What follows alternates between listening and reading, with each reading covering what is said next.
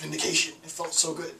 Um, not because I was speaking for the community, but that the community validated what it was that I was trying to do. And they recognized that I am really trying to put my best foot forward. And this isn't about ego, and this is not about anything other than trying to make a contribution. With respect to transgender theory, um, let's see how this works. The social constructivists, right? The problem, to make this simple, with social constructivism, in a sense, even for um, the transgender community, is that there is and still a preservation of essentialist notions. And the question is, what is still essentialized, right? The question becomes, what is still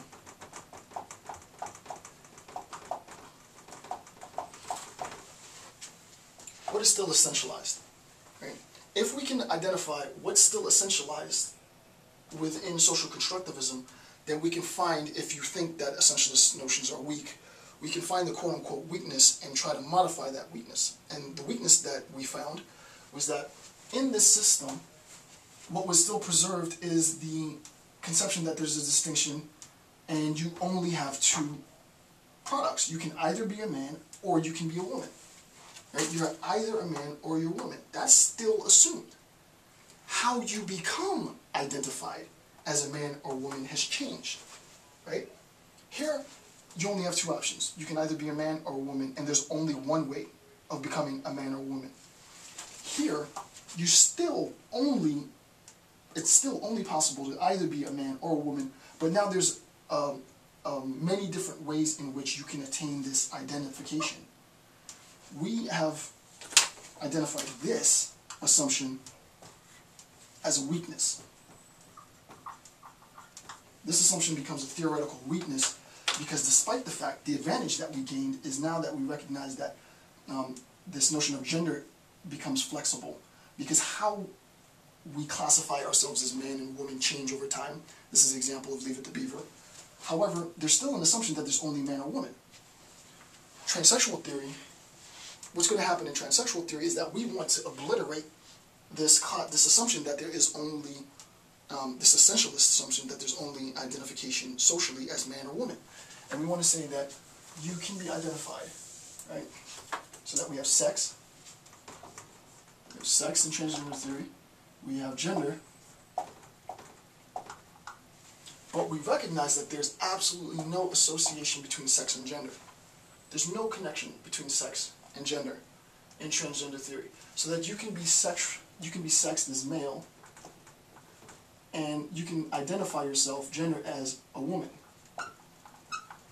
And technically this is identified if you're sexed male and you're identified socially as gender, this is identified as a MTF, right? MTF. This is male to female. Right? Um, this is a male to female uh, transgendered individual. If you are sexed female and you identify yourself as male, this is considered a female to male.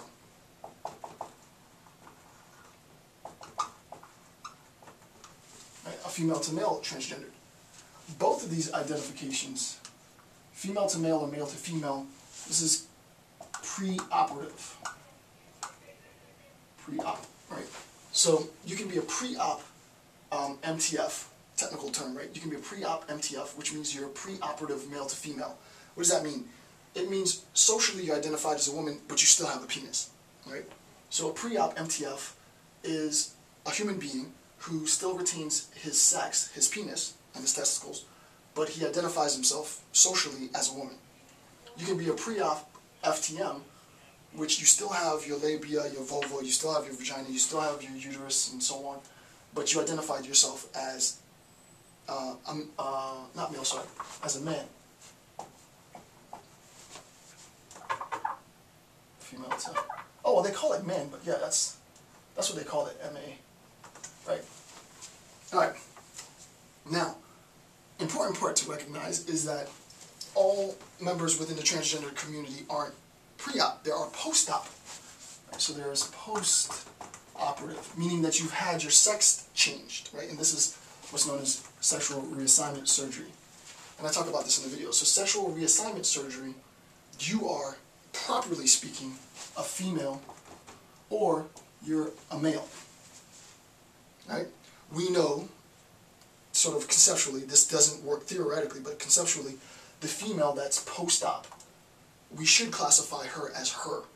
But if you recognize that she used to be a man, then you say, oh, well, she used to be a man. You know, she was really a man, but now she's a woman. Or, or you might say in, incorrectly that she's a male to female. You're really male to female pre-op. When you're post-op, you're just female. You're just a woman, actually. You're just a woman, or you're a man, right? So, post-op, you're a woman. Properly speaking, you should just only be identified as a woman. Post-op, you're a man. You should only be identified as a man. But people sort of colloquially say, oh, well, you know, he used to be a she or she used to be a he. Technically speaking, post-op, you're just a woman, you're just a man. The problem, however, is that this attempt within the transsexual community and the transgender community conforms to the same assumptions, right? Because what you end what you end up doing is you force yourself into a position to pass, what's known as pass, so that the post-op woman would have failed if she is identified as a man, right? If her surgery wasn't good, let's say she had a feminization sur surgery and her Adam's apple had been um, reduced. If her Adam's apple is bulging, if she has very large hands, then people are going to recognize that she's not she's not really a woman. She must have been a man. So within the transgender community, there's a huge, huge um, attempt to pass. Right? I want to be able to be socially identified as a woman. The argument is that this attempt to pass as a woman conforms to these essentialist notions. We can go back to a social constructivist notion or even an essentialist notion, biological essentialist notion, because I want to be, I want to seem as though I am a woman, I want to seem as though I am a man.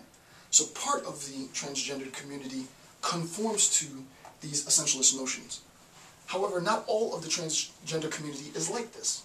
There's a, there's a very, very sort of, very, very socially removed, I would even say subaltern, I would definitely say subaltern group within the transgender community, and they're known as radical transgenders.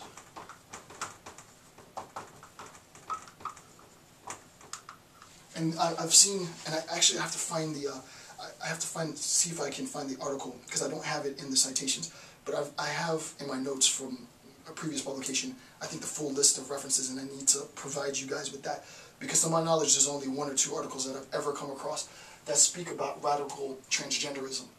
And what the radical transgender is, the radical transgender challenges the notion of um, um, binary gender essentialism because the radical transgender says, look, regular transgenders are sort of co-opting into the system by attempting to pass. So the radical transgender is identified as, let's say for example, um, a man so he has a beard, he has short hair, he's muscular, he has a arm hair, you know, typical man, big Adam's apple. However, the radical trans, uh, the, the radical transgender is dressed in all pink, a dress. It's not a cross-dresser, right? Dressed in all pink, a dress, high heels, lipstick, and and presents himself in this sort of contradictory fashion this challenges our notion. It forces us to recognize. You want to say, and I, I hate to say this, but this is what this is the point. You want to be like, what is that? Who is she? Who is he? What is she? What is he? When you are at that level, right? Not that oh he used to be a man, or oh she used to be a woman, or he used to, she used to be a man, he used to be a woman. When you're like, what is that? Right? What what what are they? Who who are they? In almost this negative sense, you are actually destroying the binary division between man and woman because now we have other. And not other in the sort of alterity sense, right? Not other as far as this sort of decolonization, other, not other in that sense. You have something other than man and woman.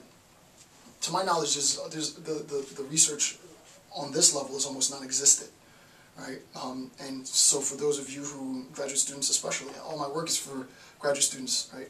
Um, for those of you that are interested in doing um, theory with respect to queer theory later, jump on board, right? Because this is this is this you know what? How do we make sense of that?